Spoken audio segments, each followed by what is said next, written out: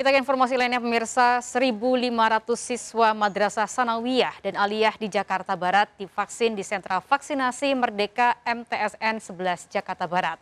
Pelaksanaan vaksinasi anak usia 12 hingga 17 tahun ini mendapatkan apresiasi dari Menparekraf Sandiaga Uno sebagai bagian dalam program vaksinasi nasional.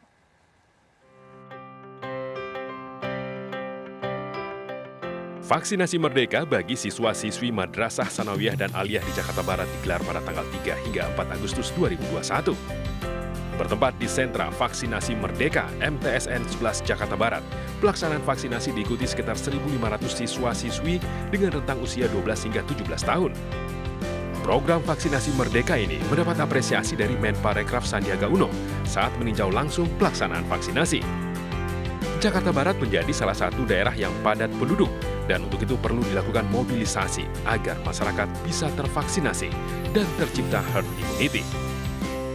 Punya PR di Kecamatan Cengkareng, tapi saya yakin dengan kerja bareng sama Pak Kapolres, kita bisa mencapai target uh, di atas herd immunity.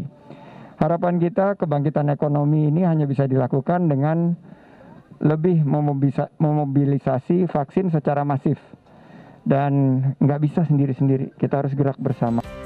Program vaksinasi harus terus ditingkatkan agar pandemi dapat dikendalikan dan akan memberikan rasa lebih aman dan resiko terpapar COVID-19 lebih rendah. Dari Jakarta, Lisa Oktaviani, Ilham Elias, Ainus melaporkan.